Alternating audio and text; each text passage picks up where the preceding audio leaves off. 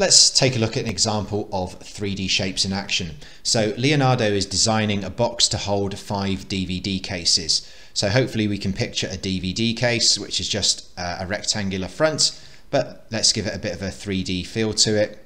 There is our DVD case.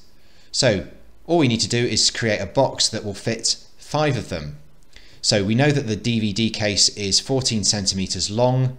Um, let's call that will be the length 19 centimeters high and 1.4 wide. So what we need to do is find a box um, which will fit one, two, three, four, five DVDs in it. So presumably we are going to be stacking them sort of um, height ways. So this is going to be 1.4, 1.4, 1.4, 1.4, 1.4, and it needs to fit in a height of 19 and it's also going to need a depth of 14 as well. So there we have our box. So here's a slightly better drawn box. So to fit in the five DVDs, they're going to um, be sort of fitted in like this. So the width here is going to be 5 multiplied by 1.4.